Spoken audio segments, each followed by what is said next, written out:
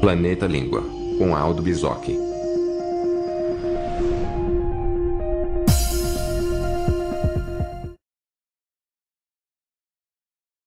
Esperanto kaj la artefaritaj lingvoj. Olá, pessoal. Hoje eu quero falar sobre um tema que me foi sugerido pelo Pedro Nunes. Ele pede que eu fale sobre o fracasso do Esperanto como projeto de língua mundial e as suas vantagens e desvantagens em relação ao inglês. Bom, na verdade o Esperanto é uma das muitas línguas artificiais que foram criadas no mundo. O que são línguas artificiais? Diferentemente das línguas naturais, que surgem espontaneamente, como é o caso do nosso português, as línguas artificiais são criadas por uma pessoa num determinado momento, como se fosse uma língua de laboratório. Aliás, eu costumo usar muito esse termo, línguas de laboratório, para designar as línguas artificiais. Então, na verdade, não é só o Esperanto, mas já houve muitos projetos de línguas artificiais. O Esperanto, digamos, parece que é que deu mais certo até agora, mas mesmo assim o Pedro pede que eu fale sobre esse aparente fracasso do Esperanto.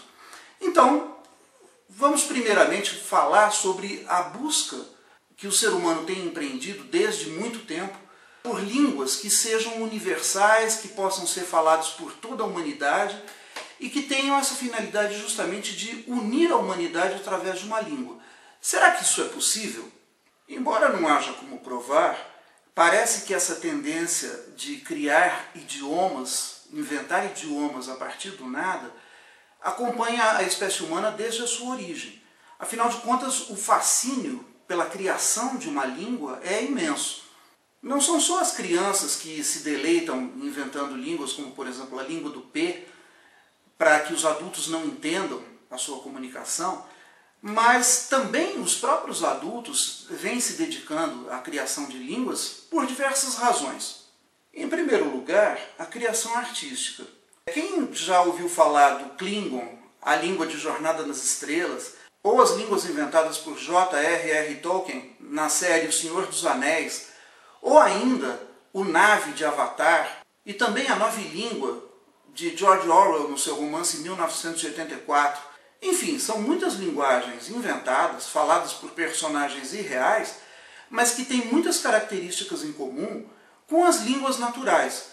Um léxico extenso, uma gramática complexa, com direito inclusive a irregularidades, nuances de pronúncia e assim por diante.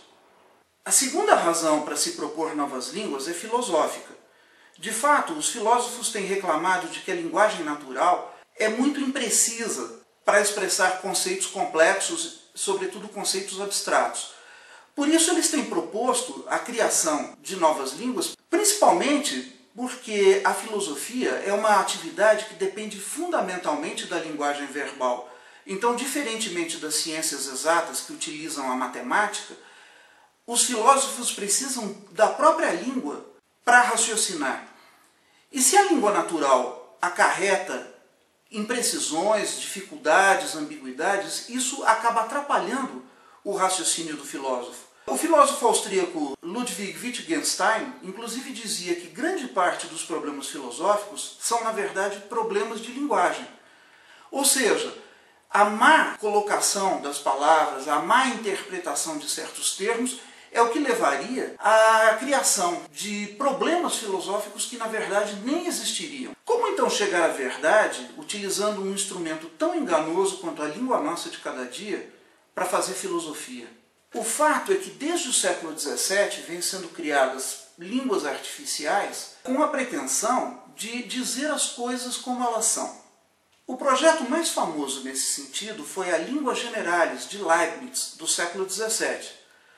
Em todo caso, o insucesso dessas tentativas de criar uma língua que seja uma mistura de idioma e linguagem matemática acaba mostrando como é impossível reduzir o conhecimento a um esquema lógico. Mas a terceira razão que leva algumas pessoas a criar línguas artificiais é um desejo de dotar a humanidade com uma língua que seja, ao mesmo tempo, universal simples, lógica, fácil de aprender e que ao mesmo tempo não seja língua nativa de nenhum país, de nenhum povo e, portanto, permita com que não haja nenhuma dominação de um povo por outro através da linguagem. Esse ideário humanista vem norteando a maioria das criações linguísticas a partir do século XIX.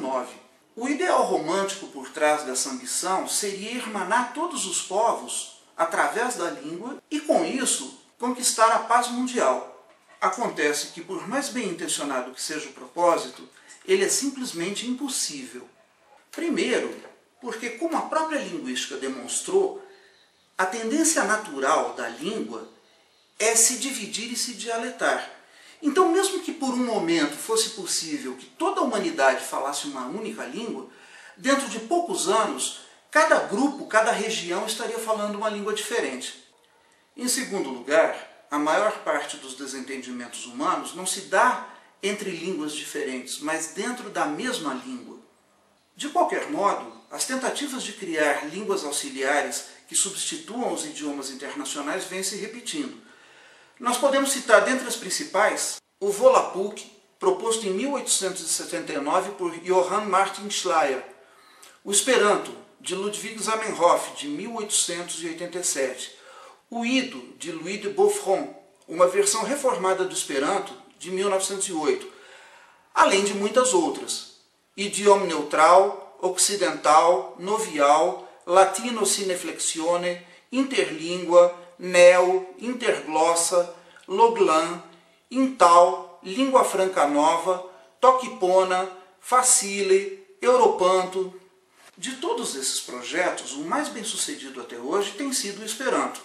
De fato, o Esperanto já conquistou milhões de adeptos, tem uma vasta literatura, tanto original quanto traduzida, reúne pessoas todos os anos em congressos internacionais e tem também transmissões radiofônicas em vários países. Por isso, ela tem sido frequentemente apontada como a única candidata viável ao posto de futura língua universal. Mas apesar de todo esse esforço em prol da criação de uma língua universal, até o momento a sensação é de aparente fracasso.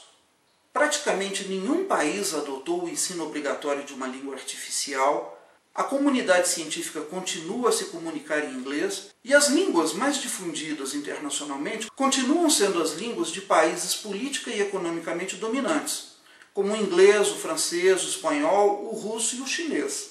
Nem mesmo organismos supranacionais como a ONU ou a União Europeia se mostraram dispostos até agora a adotar uma língua artificial como língua franca.